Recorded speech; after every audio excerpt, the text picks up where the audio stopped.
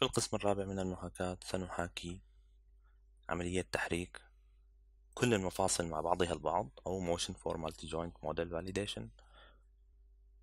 وإذا نظرنا بداخل هذا الصندوق فسنرى أن المفاصل الأربعة لديها إشارة جيبية ولكن طبعا لقد وضعت سرعات مختلفة للمفاصل الأربعة. كي نحصل على حركة منطقية مشابهة للتي ستكون على أرض الواقع لاحقا عند استخدام الروبوت.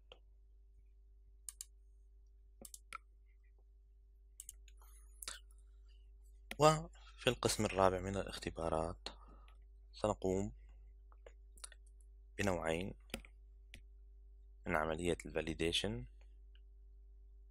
أو التحقق.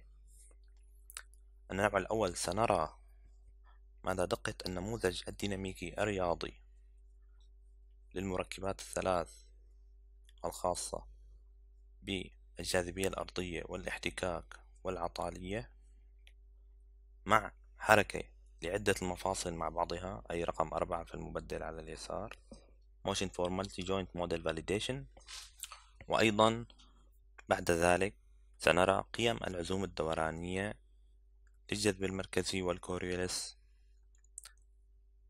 عند حركة المفاصل مع بعضها البعض.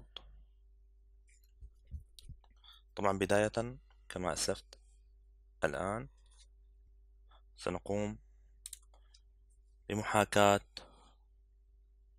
حركة عدة مفاصل مع بعضها البعض ولكن بنفس الوقت في قسم Dynamical Model سنقوم بوضع رقم ثلاثة بالنسبة للمبدل أي بمقارنة المركبات الثلاث مع العزوم الدورانية الناتجة عن روبوت المحاكاة وبتشغيل المحاكاة سنلاحظ الآن أن المفاصل الأربعة تتحرك مع بعضها البعض وليس كل مفصل لوحده. ولكن الخبر الجيد يبدو في راسم الإشارة أن قيم العزوم الدورانية من الروبوت المحاكاة ومن النموذج الديناميكي تبدو متطابقة إلى حد كبير. الآن إذا بدلنا الرقم الخاص بالمبدل إلى الرقم الأربعة لنرى فقط قيم العزوم الدورانية الناتجة عن الجذب المركزي والكوريوليس ونقارنها بالعزوم الدورانية للروبوت المحاكاة في حركة في حالة حركة عدة مفاصل مع بعضها البعض. طبعا هذه المقارنة الآن ليست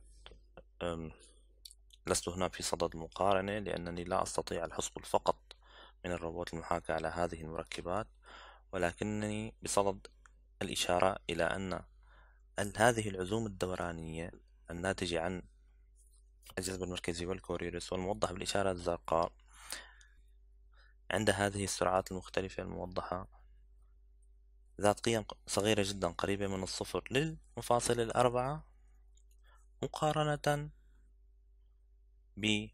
بقيم العزوم الدورانية للمركبات الأخرى ولهذا سيتم إهمالها خلال مساقنا. وهي حقيقة لا تعطي قيم مرتفعة في السرعات المنخفضة.